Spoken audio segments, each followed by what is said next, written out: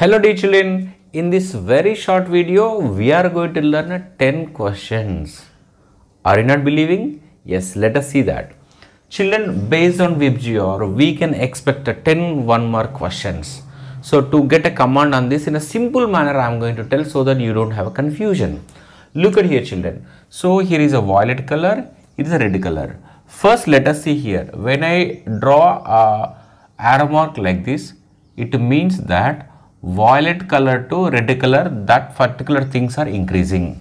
You should understand. So violet color to red color dear children wavelength increases speed increases critical critical angle increases and here focal length also increases. Focal length also increases. Try to understand. Whereas for red color to violet color. Red color to violet color here. What increases here? Refractive index increases. Lateral displacement increases. Shift increases. Right shift increases.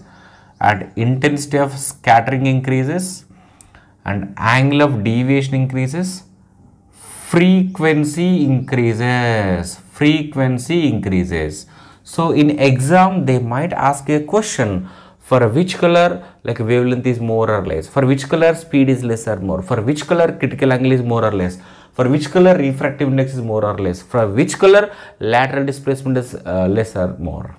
Okay na? now let us list, out. Means these are increasing from violet to red color. I mean what?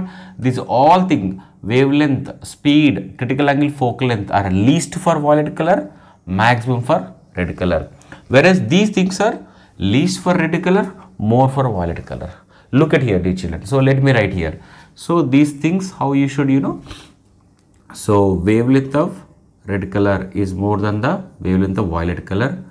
Speed of red color is more than the speed of violet color. Critical angle for red color is more than the critical angle for violet color. Focal length don't get confused. Here f here f is there. Focal length for red color is more than the focal length of violet color okay. Whereas here refractive index of violet color is more than the refractive index of red color. And the lateral displacement of violet color is more than the lateral displacement of red color. And the shift for violet color is more than the shift for red color. And the intensity of scattering is more for violet color than intensity of scattering for a red color. And angle of deviation is more for violet color than the red color and frequency is more for violet color than the red color.